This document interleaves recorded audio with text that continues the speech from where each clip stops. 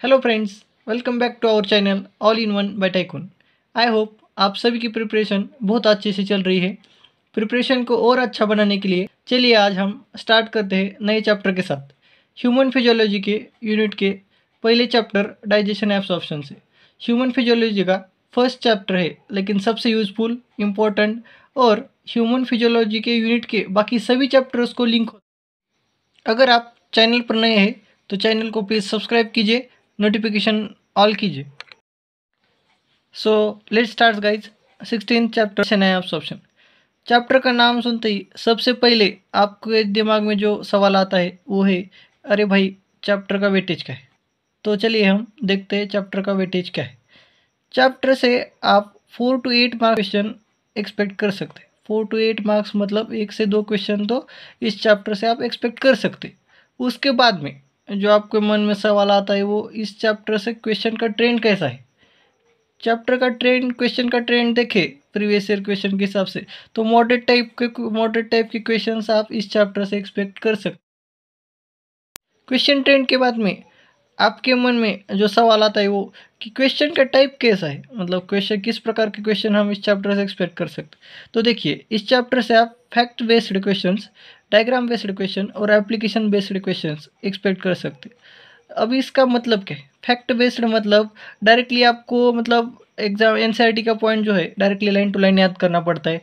Example child का dentition बताइए, या फिर सला सलाइवरी अमाइलेज कौन सी ग्लैंड सिक्रेट करता है? ऐसे क्वेश्चन याद रखिए, इस क्वेश्चन फैक्ट्स बेस्ड क्वेश्चन को आपको गलत नहीं करना है। कुछ भी हो जाए टेस्ट में या किसी भी एग्ज़ाम में, आपको इस क्वेश्चन को मतलब सही आना ही चाहिए। मतलब ये गलत नहीं होना चाहिए। ये आपको रट के जाना है। मतलब ये याद करना है लाइन टू लाइन एन से क्वेश्चन आता है, ये आपको आना ही चाहिए। इस इससे अगर, इसमें से अगर गलत हो रहा है तो आपको एक बार एन फिर से अच्छे से रीड करना है और इस पर फोकस करना है।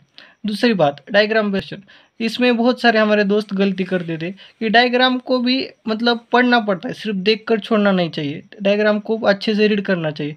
वो भी मतलब एक मतलब मैं आपको एक वीडियो बनाकर सभी चैप्टर्स के डायग्राम का क्वेश्चन कौन कौन से आ सकते हैं उसमें क्या ट्रिकी क्वेश्चन बन सकते वो सभी आपको डायग्राम बेस्ड क्वेश्चन का एक वीडियो बनाकर हर एक चैप्टर का मैं उस अपलोड कर दूँगा। उसके बाद में इस चैप्टर को जो मॉडरेट लेवल के क्वेश्चन बोल रहा था मैं, जो इस चैप्टर को डिफ़िकल्ट बनाता है, वो application based question application based question मतलब इस चैप्टर को चैप्टर से लिंक करके क्वेश्चन पूछा जाता है। कई बार दो चैप्टर से, कई बार तीन चैप्टर से। डाइजेशन को सर्कुलेशन से लिंक करके या डाइजेशन को एक्सक्रीशन के साथ लिंक करके क्वेश्चन फ्रेम किया जाता है। और यही पॉइंट यही जो पॉइंट है ना, इस चैप्टर को डिफ़िकल्ट बनाता है। इस चैप्टर को मॉडरेट टाइप के क्वेश्चन में कन्वर्ट कर देता है। उसके बाद में सबसे इम्पोर्टेंट जो है, वो इस चैप्टर से आप out of N question expect कर सकते हैं। हाँ बिल्कुल सही। आउट ऑफ़ एन कुछ ही चुनिंदा चैप्टर से, जिससे आप out of N question expect कर सकते हैं। उनमें से एक चैप्टर है डाइजेशन एज ऑब्सॉर्प्शन आगे चलकर मैं और कौन कौन से चैप्टर है, वो आगे आगे बता दूँगा। वो उसके लिए एक सेपरेट सीरीज़ भी बनाऊँगा मैं वीडियोज़ की।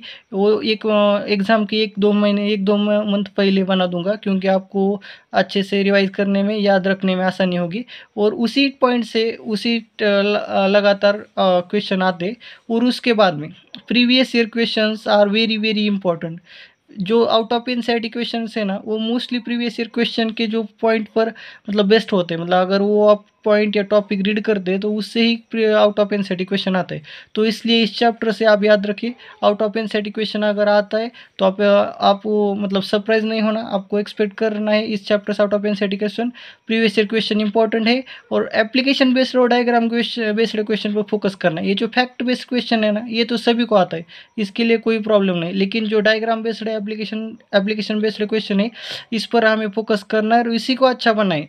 यही डिफ्रेंशिएट करता है आप में और बाकी बाकी स्टूडेंट्स में। तो इसलिए इसलिए इससे इस पर फोकस कीजिए और आगे देखते हैं।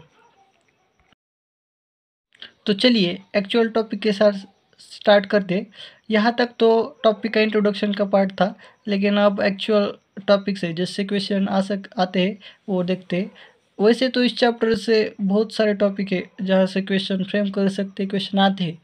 उन्हीं टॉपिक में से सबसे इम्पोर्टेंट जो टॉपिक है, जिससे हर साल लगातार क्वेश्चन आता है, और वो टॉपिक है डेंटेशन डेंटेशन में तीन प्रकार होते इसमें आप में भी आप प्रोनाउंसिएशन कुछ अलग कर सकते इसका मैं थिकोडोन डेंटेशन प्रोनाउंस करता हूँ। अगर एक्चुअल एन का लाइन टू लाइन डेफिनेशन देखिए तो थिकोडोंट डेंटेशन मतलब हमारा जो टीट होता है, वो जो जॉब बोन है, उसके में एक एक, उसके जॉब बोन में वो फिक्स रहता है।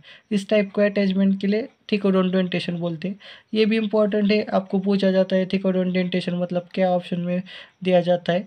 ये इम्पोर्टेंट है, याद रखिए। उस, उसके बाद में डाइफ्योडोंट डाइफ्योडोंट डेंटेशन डेंटेशन मतलब डाई इससे आपको पता चलता है, इससे ही वर्ड से ही आपको आइडिया आ जाता है कि दो टाइप के टीट ये तो आप सभी को पता है दो टाइप के टीट होते हैं।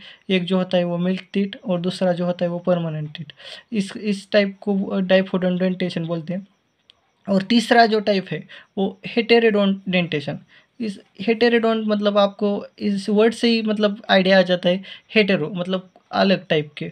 इस इसमें चार टाइप के टीट्स हमारे यहाँ टीट्स होते एक जो है इंसिसर दूस, दूसरा कैनाइंस तीसरा प्रीमोलर्स और आखिर में मोलर्स। इंसिसर जो होते हैं ना, ये जो मतलब इंसीसर क्या ना प्रीमोलर्स और मोलर्स, ये जो है ना, ये one root one root, two root, three root, शायद आपको समझ में ना आए, लेकिन मैं आपको बोल रहा था ना कि डायग्राम अच्छे से रीड करना पड़ता है, उसका भी मतलब उसके, उसको सिर्फ़ देखने से नहीं चलता।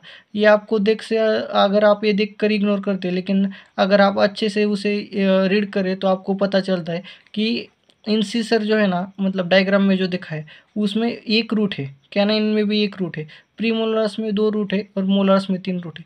मुझे भी पहले ये नहीं पता था कि मतलब ऐसा क्वेश्चन फ्रेम हो सकता है, लेकिन जब मैंने एग्ज़ाम में क्वेश्चन देखा तो मतलब मुझे लगा पहले तो लगा ये आउट ऑफ़ एन क्वेश्चन है, लेकिन फिर बाद में एन देख कर पता चला कि ये एक्चुअल एक डायग्राम में से क्वेश्चन था बहुत अच्छा क्वेश्चन है मतलब एम्स लेवल क्वेश्चन है मतलब कॉम्प्लेक्स क्वेश्चन है। अगर एप्लीकेशन बेस्ड क्वेश्चन भी बोल सकते हैं, इस इस, इससे पता चलता है कि मतलब डायग्राम रीड करना कितना इंपॉर्टेंट है। ये याद रखिए इंसिसर में ये वन रूट होता है कैनन में वन रूट प्रीमोलार में दो रूट और मोलार्स में तीन सीधा डायरेक्ट क्वेश्चन पूछा जाता है प्रीमोलार्स में कितने रूट होते हैं? ऑप्शन में वन टू थ्री फोर दिया जाता है और वहाँ पर बहुत कन्फ्यूज़न होता है तो यही याद रखें उसके बाद में डेंटेशन पर सीधा फैक्ट बेस्ड क्वेश्चन आते मतलब आपको पूछा जाएगा कि चाइल्ड में कितने नंबर ऑफ़ टीट्स प्रेजेंट है। तो आपको सीधा याद रखना है, चाइल्ड में twenty number of teeth adolescent में twenty eight number of teeth adult में thirty two number of teeth ये जो twenty twenty eight, thirty two thirty two है ना, ये जो को नीट और जे सी टी के लिए इम्पोर्टेंट है, ये आपको याद रखना है, twenty twenty eight, thirty two for child adult and adult respectively तो मोड ऑफ़ रिप्रेजेंटेशन है ना two zero two one zero two two one zero two ऐसा।